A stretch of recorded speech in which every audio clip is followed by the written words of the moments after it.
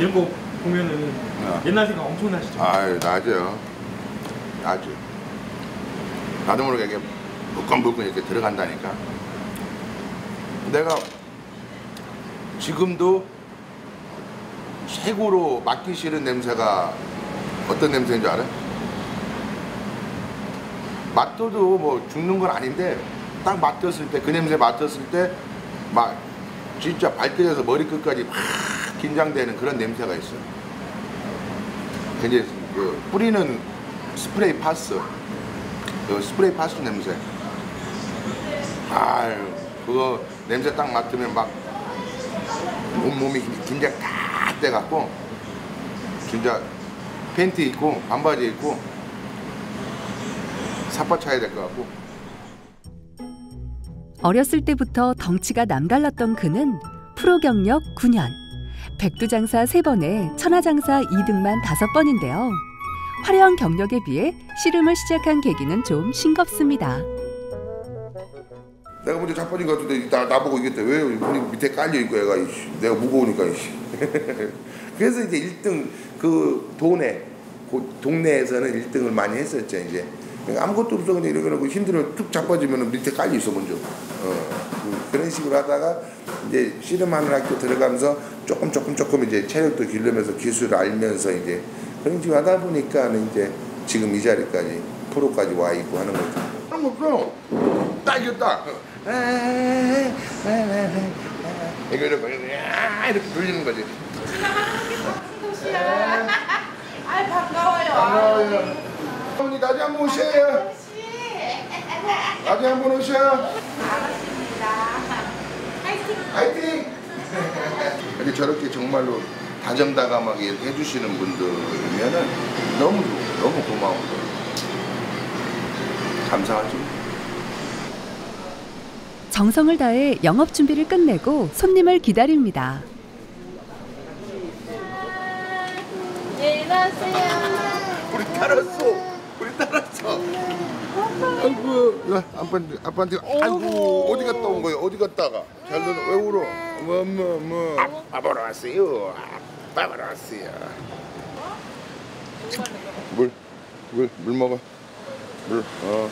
아이고, 아이고, 맛있어. 아이고, 맛있어. 음, 아, 아빠 지지야. 음, 아이고, 고맙습니다. 아, 아, 아이. 세상 어떤 손님이 가족보다 반가울까요? 너무 행복해 보이고 착해 보이고 다정해 보이고. 완전 아빠지 완전 아빠. 애기를 너무 이뻐하지 뭐. 그러니까 지나가는 애들, 애들도 다 이뻐하지 뭐. 미진 씨는 생각보다 오래가는 남편의 상처가 걱정된 모양입니다.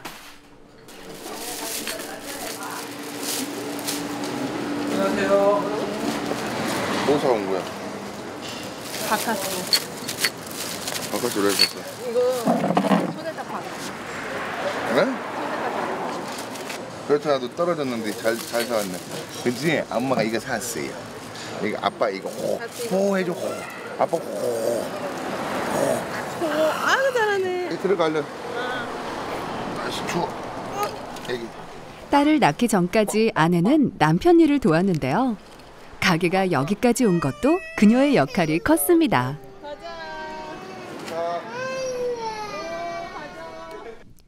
아내와 예나가 왔다 간 지 한시간여 가게 안이 휑합니다. 영업이 끝나고도 남을 시간. 남편의 감감무소식에 아내는 잠을 못 이루는데요. 왜 안 들어오셔?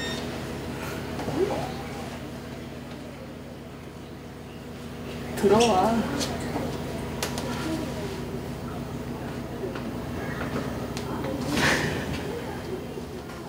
지금 시간이 몇 시네요? 아이가 죽었다 밥 있냐? 밥 없어. 그럼 지금 어? 무슨 밥을 사줘? 햇반 햇반도 없거든? 컵라면 라면 하나도 없어. 밖에서 먹고 와야지. 다른 아빠들은 응? 집에 일찍 일찍 들어가고 응? 애랑도 놀아주고 응? 어떤 아빠가 그랬다 어떤 아빠가 걔들은 논 걔들 백수리? 어, 미안한 건 미안한데 이제 잔소리 하니까 이제 아이 짜증도 나고 자꾸 올라온 거지 뭐 예전 힘들었던 거에 비하면 지금은 아무것도 아니죠. 발 아래 세상에 내 자리는 없는 것 같던 시간이었습니다. 힘들 때별 생각 다 해봤죠 자살 자살이라는 죽을 생각 뭐 뛰어내릴 생각 뭐 진짜로 별 생각 다 해봤어. 진짜 힘들 때. 진짜 힘들 때는 막 야 어떻게 살아야 될까 깝깝한 거지. 야 이거 진짜 살아야 되나? 내가 이렇게 살아야 되나? 그렇게 힘들었는데도 힘들었었는데 지금은 괜찮지. 지금도 힘들 때도 그때보단 덜 힘드니까 버텨보자. 네, 그런 부분으로서 지금은 이제 열심히 사는 거죠. 열심히. 열심히 사는 거죠 열심히. 든든한 마누라. 거기다가 또 아주 이쁜 딸내미까지 이렇게 생겼으니 더욱 더 플러스 알파가 된 거지. 높은 데서 사니까 좋다. 다 보이고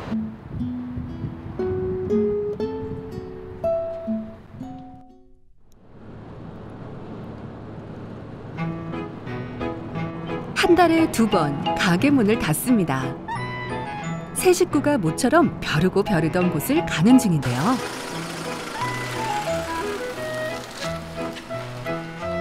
그곳은 바로 충남 예산에 있는 그의 고향집입니다. 일년에 다섯 손가락으로 꼽을 정도로 오게 되는 곳. 아니 뭐 이렇게 많이 찾아보셨어? 아 우리 저 맹구를 타러 가자 안녕하세요 맹구를 타러 가 지금 와 큰아빠 안녕 할머니. 할머니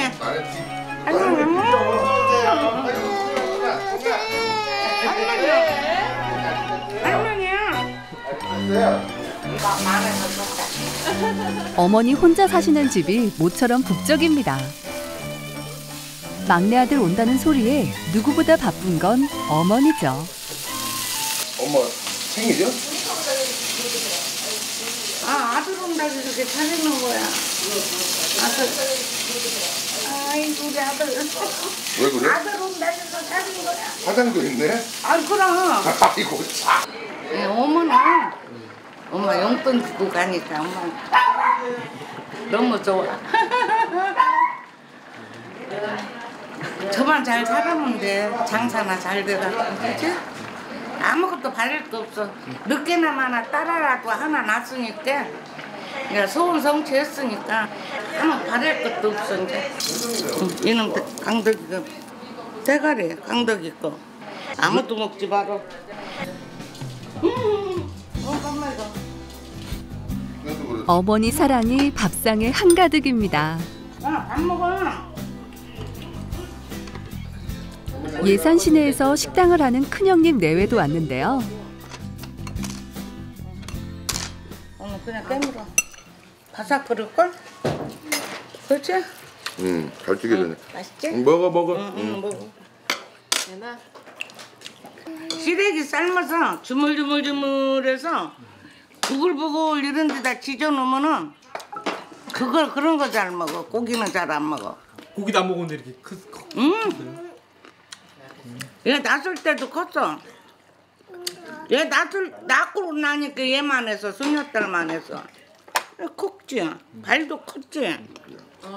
얼굴도 그냥 얼굴 아니 이렇게. 아니 얘가 주걱도가 아니야. 응 이렇게 생겼죠. 괴물 난 줄 알았어. 그랬더니 강덕이는 강덕이 돼. 앨범이 없어가지고 옛날 얘기에 빛바랜 앨범까지 등장했는데요. 광덕 씨는 오형제 중에 막내입니다.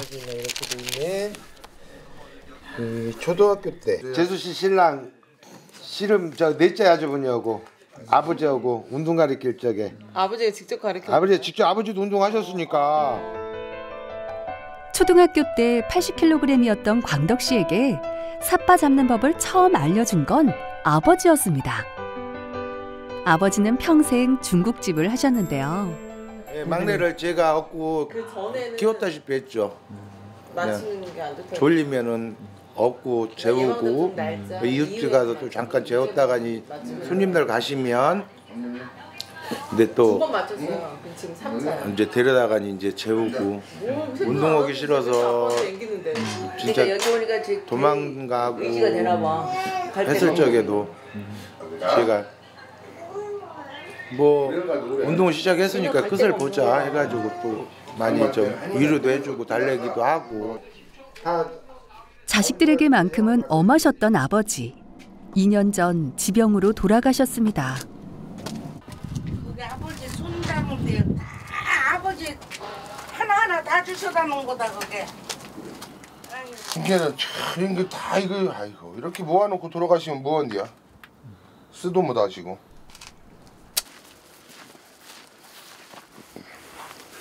자주 찾아뵙지도 못하고 그냥 아버지 여기 계셔가지고 여기 있다. 지난 추석에 일을 하느라 인사를 못 드렸습니다.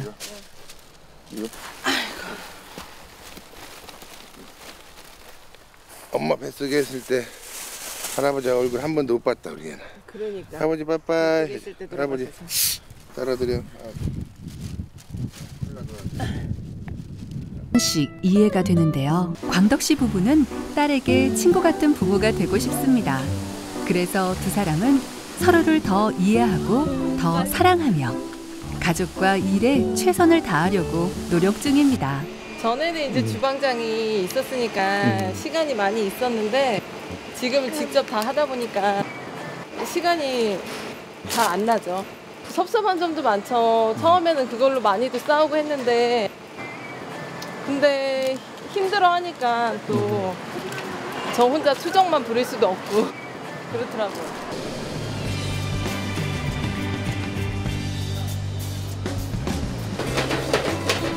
오늘도 그는 좁은 주방에서 하루를 보냅니다.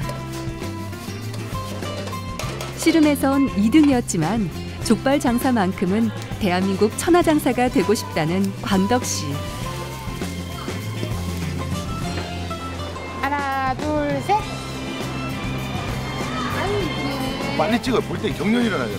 볼 때 경련 일어난다고 이러고 얼마나 했는데. 그렇게만 해야겠니?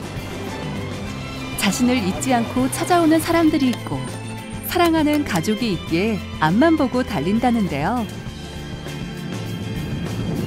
족발 장사를 하지만 내 미래는 또또 모르거든. 내가 밟고 나가는 거에 대해서 그 미래가 기다리고 있는 거지. 엉뚱하게 가는데 이거 기다릴 수는 없는 거니까. 더 이제 앞에 미래를 보고 뭐 딸내미랑 마누라랑 행복하게 사는 거지. 씨름 선수 박강덕 씨의 신나는 남바다 인생. 우리 모두가 응원합니다.